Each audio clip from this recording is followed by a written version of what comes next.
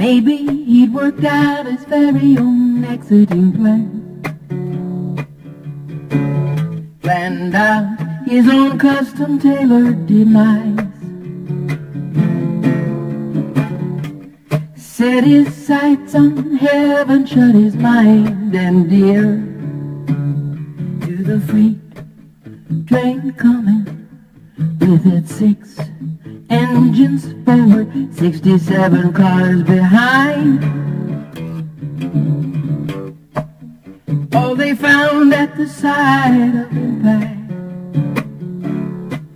was his shoe, his worn out shoe. A 24 ounce tall can of beer well worn Bible. He was seeking out a little shelter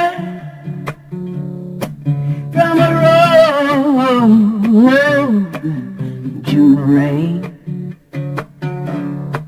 He was a man without a home in his mid-fifties.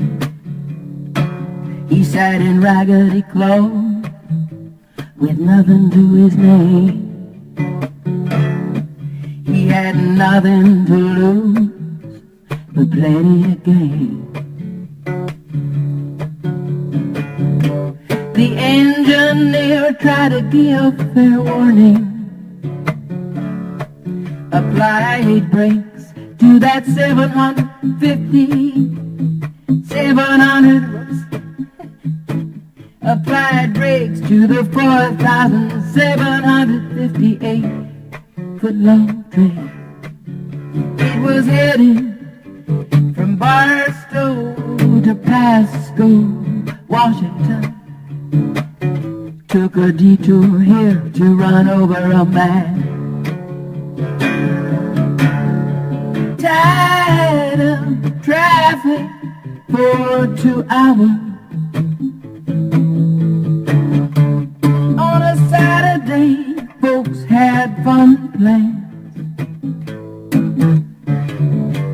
A man with three sons on their way to a party made observation, he said, It's pretty sad to be down here in this secluded area and get taken out like this all by himself.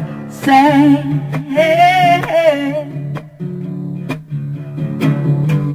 the newspaper article failed to mention the condition of the body, the beer, and the shoes in the Bible were unscathed. The homeless gathered and they watched the coroner from their vantage points. Sadly shook their heads, we didn't know his name. Man has the clues to this tragic riddle. And he took them with him to the grave. I hope he is resurrected on some heavenly shore. And that he wears a gossamer robe, knows no sorrow, no shame. Maybe he worked out his very own exiting plan. Planned out his own custom tailored demise. Set his sights on heaven, shut his mind and ears to the freight train coming with its six engine forward, 67 cars behind. He was seeking out a little shelter from the June rain that day. He was a man without a home in his mid-fifties. He sat in raggedy clothes with nothing to his name. He had nothing to lose, everything to gain.